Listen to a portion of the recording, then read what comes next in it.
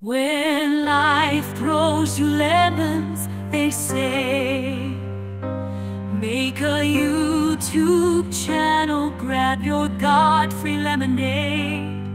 In the depths of the dark, where shadows dance and sway, a satanic gospel, a twist in the charade. Hi everyone, it's that time of the year again where we get to do another Jack Chick tract. So let's get started. Yay. As usual, you don't have to look at the screen as I'll be describing what we see and it's probably for the better that you don't have to see exactly what Jack Chick is saying. So this one is called The Little Princess and it looks like it's a kid dressed up to go trick-or-treating but she doesn't look really thrilled about it. Let's find out what this is about. So, in our first couple panels, we see this little girl is really skinny and at the doctor's office. The doctor says, Now, one more deep breath. Uh, honey, I need to talk to your mom. Alone. And the next one, we see the mother is uh, crying. I'm not going to clock her for her hairdo. I mean, her kid's sick, so. The doctor says, Mrs. Spencer, Heidi is dying fast. She may not last more than a couple of weeks. Later that night, Mom, Daddy, am I gonna die soon? the dad says, We're so sorry, little princess, but you are. Now we see Heidi. She's pretty sick looking. She looks like she's hooked up to an oxygen tank. Real, real skinny. And she says, There's one thing I really want to do before I die. Can I please go trick or treating on Halloween? And the mom's kind of tearing up. She doesn't actually look too thrilled. Like, oh, this is this is her last request. This is kind of lame, you know. And the dad is he looks more sympathetic and he says, "Well, if you have the strength, honey, you can." Uh, Daddy, what will happen to me after I die? Honestly, I don't know, princess. I don't think anybody does there's some boy. I don't. I, I'm assuming it's a brother. I don't know. He's just in the house, and he says, "What are you going as, Heidi?" A princess. Uh, I should have guessed it. And then now on Halloween night, she's uh looks like she's huffing. But I mean she's she's taking in her oxygen, but surely she's gonna take her oxygen tank with her, right? Come on, Heidi, we don't have all night. Hold on, I'm coming. Now they're trick-or-treating, getting some treats. We got a nice happy jack-o'-lantern here. Trick or treat! And the old lady says, Oh, what a beautiful little princess. Oh, man. Now they're on the, the sidewalk. She collapses. Candies everywhere. This is a pretty dramatic scene. There's like a street lamp and I don't know. They did a nice job with this scene. And so the little kid is, Josh, help! And Josh picks her up and he says, That's it, we're going home. Josh, please, just one more house. Okay, but but that's it. But and then we're going home. I, I want to go to our new neighbors, the Smiths. Please don't tell me she's going to either evangelize to the Smiths or be evangelized at by the Smiths. Or the Smiths are going to give her a chick tract because that is recommended by the chick.com uh, website for you to set give these to kids during Halloween. So I guess uh, feel free to pause the video and, and post your guesses. My guess is I, I feel like she's she has to go to the Smiths, so I'm assuming she's gonna go talk at the Smiths. We'll we'll find out. Oh boy. There's the chick tract well, I, I mean, trick or treat. And the lady says, here's some candy and a special treat. God bless you both. And the old man, Mr. Smith, that little girl is in trouble. Oh, let's let's go pray for her right now. And now later that evening, we see this silhouette in her room that she appears to be reading the tract. So I guess she got to the last page because she says, Dear God, thank you for saving me. So it looks like that last part where it says, uh, you know, check off the box that this is the day you decided to admit that you're a sinner and have this prayer and so on. But what about Mom, Dad, and Josh? Mom! Dad, come quick! And the parents are now in the bedroom. For some reason, the crown is on the bed. I just feel like that would be uncomfortable if she rolled over it. I've got to talk to the Smiths right now. She says, holding the chick tract. They gave me this little book. I know they'll come, Daddy. I must see them tonight before it's too late. And the dad's got this, I don't know, he's got a weird look on his face. He looks he looks like he's been drinking. It's just it's a weird look. I don't it's it's it's also strange because I think that the artist did a pretty good job with the previous panel, um, the one where she asked to go to trick or treating, and now the dad just looks like like he's drunk and placating her. Like, okay, princess, anything for you. So he goes and grabs him. Now, see, now the dad looks concerned. Now he doesn't look drunk. Uh, ex excuse me, I'm George Spencer from across the street. Our daughter read your little book and would like to see you right away. She's dying. And so the Smiths say, you know, let's go, honey. And now they're in her bedroom. She's still hooked up to the oxygen and she's raised up her skinny little arms to say, I did it, I did it. I prayed the prayer in the book you gave me. I asked Jesus to be my savior. Now I have peace in my heart and I'm not afraid to die, she says, with all of this medication near her. And I guess it's Mrs. Smith? That's great, Heidi. We're so happy for you. Thank you so much for caring about me. I wonder who the, this book is directed at because I thought it was for kids. This is one of them that is recommended to give out to older children, but this seems more like for the older people that are handing out the the candy treats with the chick tract. It seems more like something comforting for them. Like, look, this is how your chick tract could impact a child's life. You never know who's coming to your door. Haha. It, it seems more for that audience as opposed to for children.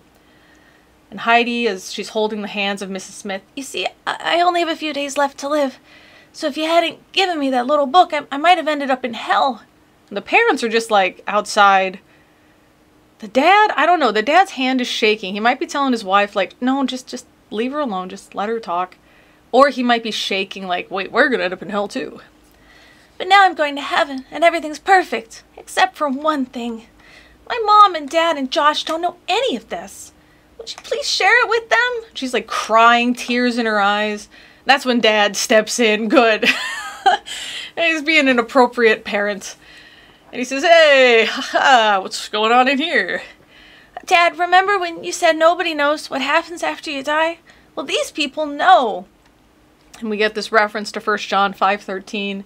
These things I have written unto you that you may know you have eternal life. So, you know, this is what they believe is going to happen after you die, but to know, I no. I I want you and mom and Josh to listen to them, okay? And dad's like, okay, honey. Again, this face, now this face is a bit confusing, but I think he is confused. So I'll, I'll give it to Jack that he had a, a strange look on the guy's face. Folks, it's no accident that Millie and I are here tonight. This is a divine appointment. God loves you so much, he sent us here with this most important message you'll ever hear. Mr. Spencer, I'm sure the thought of your daughter dying breaks your heart, right? Uh, of course. Well, God is an even more heartbroken when he sent his son on heaven to die on earth. Oh, you have. Oh my God. Uh, this is horrible. Who, who is this book for? Is it is it for cancer patients? Is it for their parents? Also, this looks like the house that um, there, there that guy that got out of prison there was a chick tract about this guy that gets out of prison and he stays with his auntie and uncle and they push Jesus on him. It looks like it's that same house. But she's only got a few days left to live, right? And they're taking away these precious minutes that they have so he can tell that well god see you were hurting like you're sad about your kid dying god was like even more sad so yeah I mean, what's what's the point of saying that. So God was even more heartbroken when he sent his son from heaven to die on earth. Great, fantastic. We're having, um, you know, the sadness Olympics here. God's the winner, mm, gold, gold medal. Why did God have to do that? Because all people are sinners and God would never allow sin to enter heaven. This again is this weird belief that Jack Chick and Christians like him have this idea that you're not Christian simply because you've never heard of it. And this is actually something Muslims believe as well that if you read the Quran, you'll have no choice but to believe it and I've read it twice. Uh, I guess it negated itself because I'm not a Muslim. but for for Jack, it's this idea that you're going to go to somebody's house and preach the gospel, and they're going to say, "Why golly, I've never heard this before." Well, even though I've never heard it, and you've provided zero evidence, I'm totally going to believe it. Yay, we're all saved. That's such a. I, I don't know. I don't know how to describe it. It's it's so simplistic in in the approach.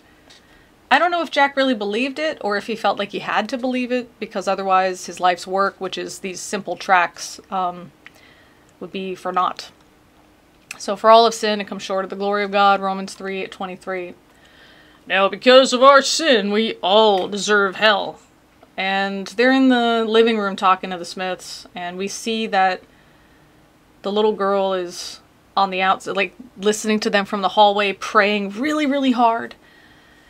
And he tells him the only way man could ever get into heaven was for someone sinless to die in his place and pay the penalty for his sin. Now, every time Jack writes this, I always wonder if he realizes how nonsensical this sounds to people who aren't Christian. That the only way for a perfect, all powerful God to forgive us of sin that he created. He created the concept of sin. He created us to be the way that we are, which is inherently sinful, apparently.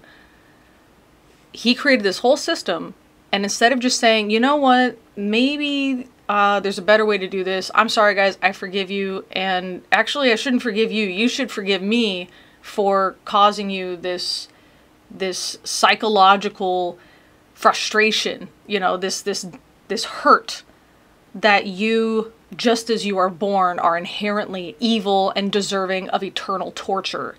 That's on me, my bad. Let's wipe the slate clean and get off to a, a, a you know a good start. You know, let's get off on the right foot here. Instead of doing that, he forces himself into the womb of a 13 year old child so he can come out and be beaten, raise again a day and a half later, and then rise into heaven. And that somehow absolves us of sin. And not only does it absolve us of sin, even though we still have sin and we'll still die for sin, um, that was the only way to fix the system. And, and, and Christians say this and they think it's a beautiful message. They don't think it's bizarre. They don't think it's it's nonsense. They don't think their God is a monster. They say this and they think it's beautiful. And I know that because I I was part of it. I thought it was this wonderful sacrifice, but really it, it just didn't make any sense. I know we were supposed to feel bad and feel grateful for Jesus dying on the cross, but I always wondered why it had to be that way. Couldn't it be any other way? I mean, after all, he's God. So even as a Christian, I you know, I was grateful for Jesus because I was told to be grateful for Jesus, I, I felt bad that I was so awful that Jesus had to come and die because I'm so terrible. I felt bad about that. I felt guilty for that. But I also wondered couldn't there have been a different way to do it? Uh, so, the mom says, Well, who could that be? Because again, here in America, um, we've never heard of Jesus Christ. So we get this pretty nice drawing, uh, silhouette of Jesus on the cross that someone was God, the Son, Jesus Christ. And then Luke 23:13, Father forgive them for they know not what they do. We get John 3:16 thrown at us.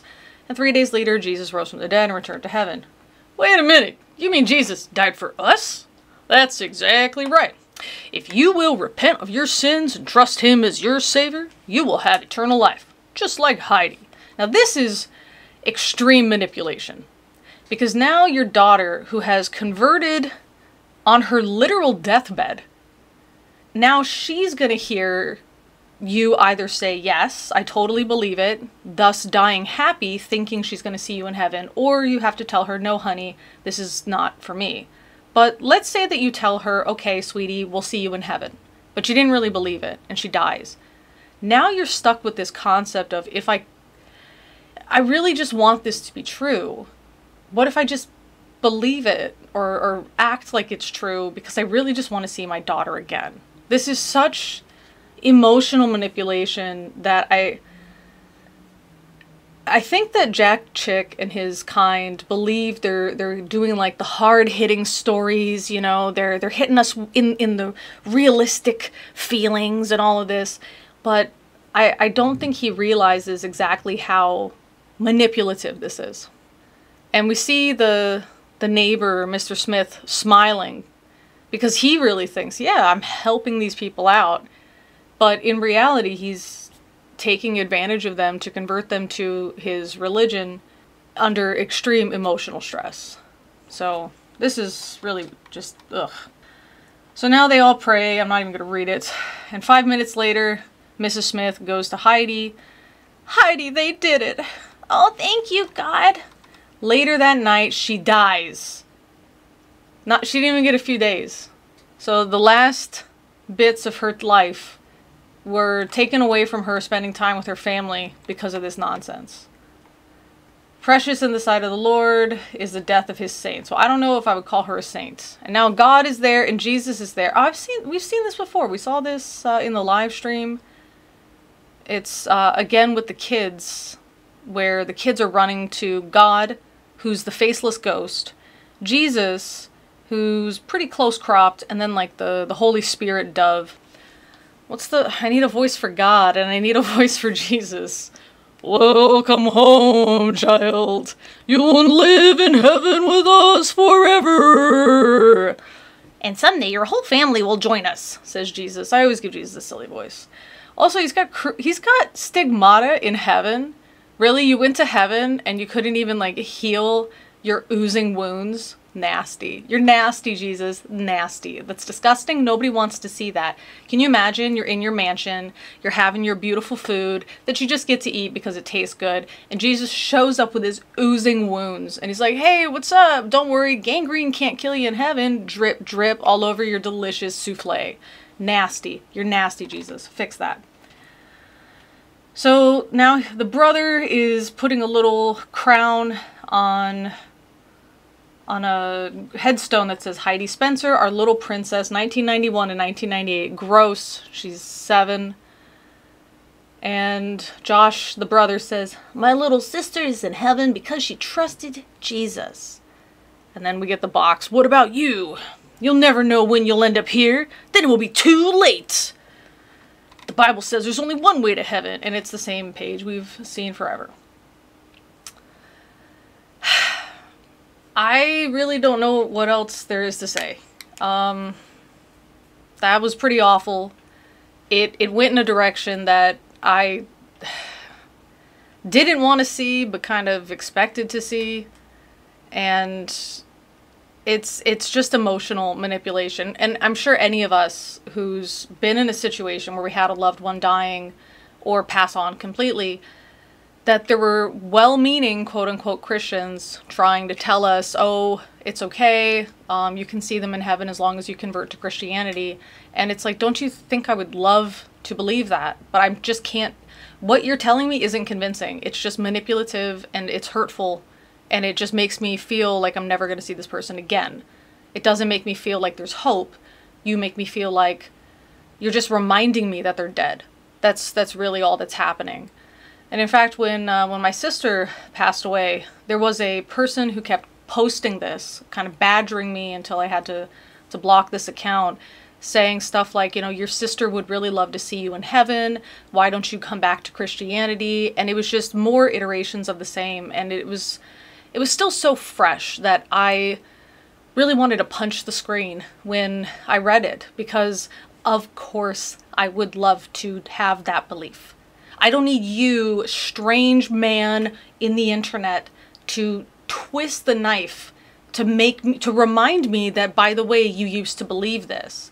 But once you get through that belief, that that threshold of I no longer can support this belief. I no longer believe it. Once you get through that threshold, I, I don't know if there's ever a going back. And if there is, it's going to be a lot more evidence than, hey, wouldn't you love to see your freshly dead sister again? I I really get upset when I see this stuff because it's it's disgusting. And they think they're doing the right thing, the most loving thing, to remind you that Jesus loves you as if you as if you've never heard this 20,000 times, as if you hadn't said it yourself before. As if it hadn't crossed your mind. Wouldn't it be nice if I could see this person again? Boy, you know, it'd be great if there was a heaven. But just to to have people tell you this, I,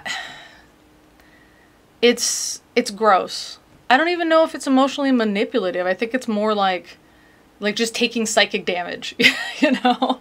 just to use like a gaming term, it's it's just it's it's just psychic damage. That's all it is. It's it's not loving. It's it's cruel. Because it's basically kind of saying you will never believe again, at least not now. And that is a reminder that this person is dead forever. And even if there is a God, and you can't believe in that God because I have I surely haven't provided you any evidence. Uh, you're just gonna burn in hell. So, middle finger, middle finger. That's really how it comes off, Christians. Just so you know, that's how it comes off, because you're not providing us any bridge to get back to belief, and that bridge is evidence. You're not providing any of that. You're almost taunting. Like, ha ha ha, I get to see your sister in heaven. That's and that's what the person even said.